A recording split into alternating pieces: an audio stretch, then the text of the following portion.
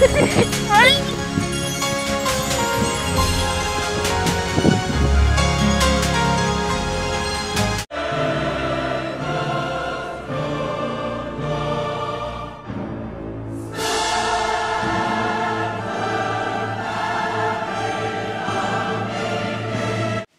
deed je dat eigenlijk?